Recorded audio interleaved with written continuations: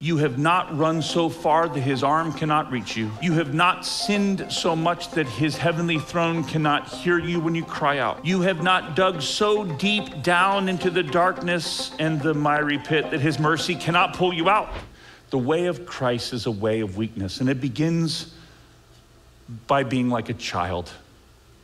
John 3 3, Jesus says, You must be born again. And Nicodemus is like, Oh, how can I be born again unless there I go in my mother's womb? Was really, really confused. Matthew 18 3 says, Unless you become like a child, how is a child? Desperate, weak, and needy.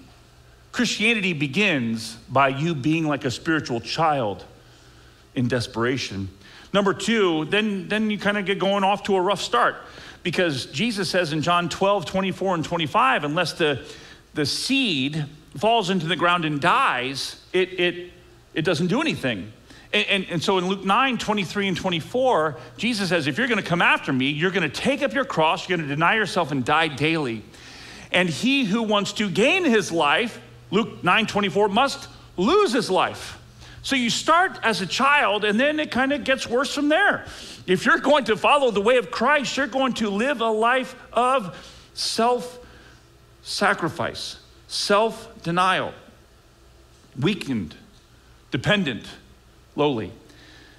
But then you continue in utter dependence. John 15, 5, Jesus says, Without me you can do nothing.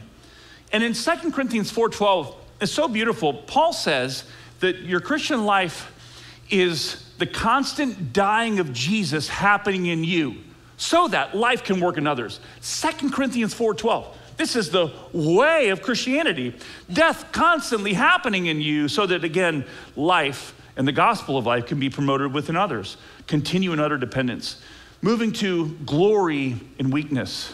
Paul's uh, man, his testimony of glorying in his weakness, 2 Corinthians 12 9, is remarkable because it's in his weakness as we pursue Christ in continual need and desperation that Christ's strength is brought forward. I already mentioned 1 Timothy 1:15, where Paul's saying, Yeah, he came to save sinners, and praise God for that because I'm the worst of all the sinners. I'm like the dregs and the scum of humanity. Paul uh, didn't have a very good self esteem, but, um, but he knew the way was weakness, and he was willing to glory in that weakness so that he could know the strength and salvation that God provides. Let me say it this way the more you keep at a distance what is true of your soul, the more you keep at a distance the salvation do you, the rescue do you, the deliverance do you.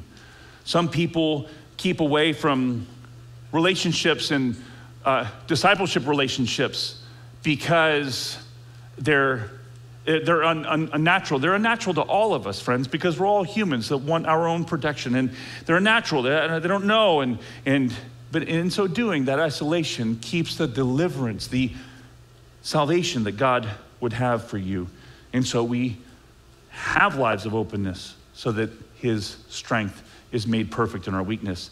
And, and lastly, the way weakness is a race to the bottom. First is last, last is first. Mark 10, 30, uh, 43 and 44 is uh, Jesus says, Look, if you're going to be great in my kingdom, you're going to be the slave of all. You're going to be slave of all. Slave to your spouse, slave to those that you're around, slave to your neighbors. You're going to serve other people like Jesus came to serve. You're going to serve the church. You're going to serve in disciple making. You're going to serve in evangelism. You're going to serve other people. And it is, my friend, a race to the bottom. This is the way of weakness. This is what it means to be in Christ. And that's why, with such beauty and power, he tells us that this is how it starts. The good news is for the poor, prisoner, blind, and oppressed. And then it continues in this way of weakness as we trust in him in every way. But for the soul that is searching and hurting this morning, for the one that comes in here this morning just staggering into your seat. I have a word of hope for you. You're thinking, but, but not me. I've gone too far, I've done too much. I, I, I want to encourage you that He is able to save to the uttermost. You have not run so far that His arm cannot reach you. You have not sinned so much that His heavenly throne cannot hear you when you cry out. You have not dug so deep down into the darkness and the miry pit that his mercy cannot pull you out. You have not hid so long that he cannot find you. You have not wallowed so long in the mire that his holiness cannot wash you perfectly clean. And you have not fought so hard that his grace and generosity cannot win you. He will, and he does. So, for you, hurting soul, hurting heart, maybe Charles Spurgeon will encourage you. Just as it says here, Luke 4:10, to proclaim the favorable year of the Lord. Behold, now is the acceptable time. Behold, today is the day of salvation. Make room in your heart for Jesus. Make room in your heart for Jesus now. My master wants room, Spurgeon says.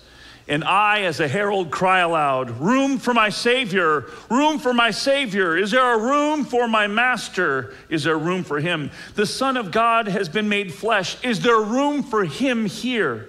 He is the one who can forgive all sins. Have you room for him in your life? He is the one who can take you up out of the horrible pit, out of the miry clay. Have you room for him? Here is he who, when he comes into your soul, will never go out again and will abide with you forever to make your heart a heaven of joy and bliss through his presence. Have you room for him? All he asks for is room. Your emptiness, your nothing, your lack is all that he needs because all that he's looking for is room. And he will come and dwell and he'll come and save, and he'll come and free, and he'll come and renew. Merry Christmas.